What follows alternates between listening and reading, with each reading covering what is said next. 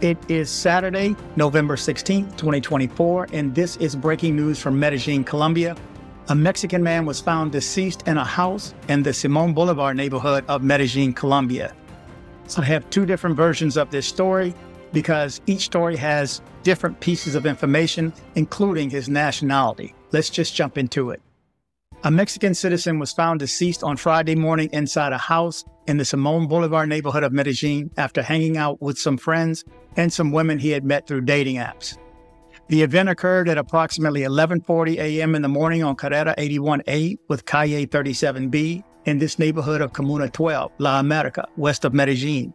After friends found that the foreigner identified as Emanuel Manzanares, 32 years old, and who also had American citizenship, had no vital signs. According to the police report of the case, Manzanares and his friends decided to invite the women to their home, who would have arrived after 2 a.m. this Friday, and there they began to socialize and consume alcoholic beverages.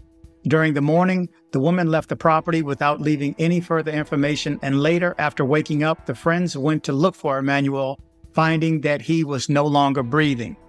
Agents from the Sijín and the Metropolitan Police carried out an inspection of the lifeless body of this foreigner, leaving his passing to be established, since they did not find sufficient reasons to define whether it was a cause of death due to intoxication from the supply of some substance or due to other circumstances. Likewise, during the initial investigation, the authorities indicated that no theft was reported from the belongings of this foreigner or his companions at least in the first inquiries. His body was transferred to the facilities of the forensic medicine in the Caribe neighborhood, where the respective forensic work will be carried out to fully establish the causes of his passing. According to the authorities' report, this year there have been 47 passings of foreign citizens, non Venezuelan, in the Aburrá Valley, although only four have been confirmed as homicides. It should be noted that these statistics include passings due to health problems, causes yet to be established, and those who come to the city and end up taking their own lives. This next story has slightly different information, so let's jump into here. No passport or cell phone. Identity of American man killed in Laureles after having sex with a woman is known. The four friends had met three women through a Tinder app the identity of the foreign man who was found dead on Friday morning in the apartment in Laureles after having sexual relations with a woman he had allegedly contacted through a dating app has been revealed. The deceased apparently showed symptoms of asphyxiation, apparently caused by the consumption of sexual enhancers. Emanuel Manzanares, a 31 year old American citizen who worked as a truck driver, was the name given to the individual found dead on Friday morning in a short term apartment in the Laureles neighborhood. According to authorities, the man's body was found at around 11:49 a.m. inside an apartment rented through the Airbnb platform. The most striking thing about the case is that the body had a foamy fungus in the mouth and nose, a characteristic sign of asphyxiation by submersion or perhaps an overdose.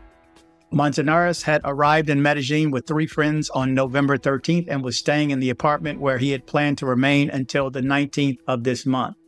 The night before the body was found, the four friends had met three women through the Tinder app who went to the apartment around 2:30 a.m. According to his friends, Manzanares had consumed alcoholic beverages and sexual enhancers. After having sex with one of the women, he lay down on the floor complaining of feeling ill. When they went to wake him up on Friday morning, they found him deceased. Authorities are investigating the exact cause of his passing and have not ruled out any hypothesis. Friends of the victim say they did not see any signs of violence on the body. However, the absence of Manzanares' cell phone and passport is striking. Again, we send prayers and good vibes to the family of Mr. Manzanares and for anybody else who is going through the situation or even slightly close to the situation, please report it to the police. Make sure you reach out to 123 ASAP as soon as possible. Time is always of the essence in these cases. We don't know, just like most of the cases, probably 90% we never get follow ups on. Any follow up information that uh, I detect, or some of you, some of the viewers who shoot me information, uh, passes on to me, I will make sure that I report any updates found when there is additional information to share. Again, our condolences to the family and friends of this gentleman. Thank you guys for watching. Remember to travel, but travel safe.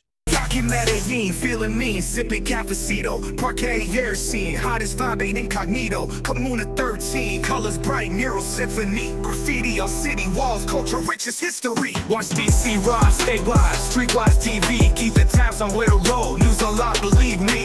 Travel but travel safe, life don't hit replay. Street savvy like a king, no risk we convey. Medellin nights, under city lights. Roll with DC Rob, he got the sights. Cultures blend Party never ends. Stay sharp, stay true, we got no pretend Hustle like New York Marine Never get caught slipping. DC Born street smart, worldwide tripping. Latin beats, South streets, rhythm always bumping.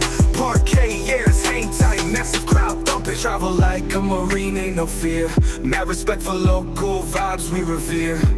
Colors bold, stories told, art pure magic. Medellin spirit so infectious, never tragic. Medellin nights on the city